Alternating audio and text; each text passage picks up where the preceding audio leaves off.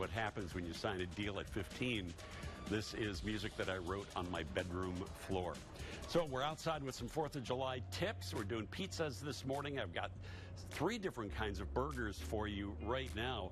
First up, I want to show you uh, one of the burgers that I'm doing this morning, which is a stuffed burger. For a cheeseburger, I like cheese in the burger, not on the burger. I prefer it much more inside. So you take a regular patty, pound it out real thin, and then you're just going to flip it over. I'm not going to do it right now because I don't want to get meat stuff all over my hands because I'm going to be touching other food. But you get the idea. You flip it over, you combine it, you seal it, and uh, I'll show you how it looks in just a minute. So that's uh, burger number one. This is just a good old salmon burger. It's ground salmon. Into this one, we put feta cheese and spinach and also a little egg to hold it all together. That is going to go on the grill. But really, my piece de resistance this morning is a donut bacon cheeseburger. Now, let me show you how all of this works. Got all the burgers uh, out here. If I can find my spatula.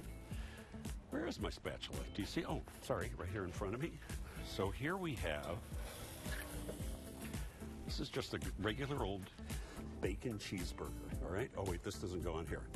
The bacon cheeseburger goes on a glazed donut, like the kind of glazed donut that you can get at Dunkin' Donuts.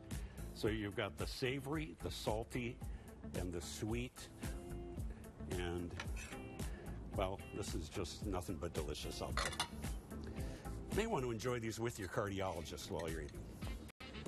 But look how, look how great that is. Sweet, savory, salty, all good. These are the stuffed cheeseburgers. And these guys, I just want you to see what it looks like when you cut it open because the cheese is all gooey and melty and wonderful on the inside.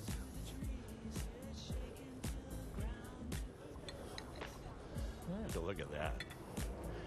Nice and gooey. Could you put as much as you want in there, but it, you know, it tends to spill out. But you can kind of see it there. That's uh, cheddar. I also made one. This one is, uh, I love gorgonzola and blue cheese. So that's what this one is.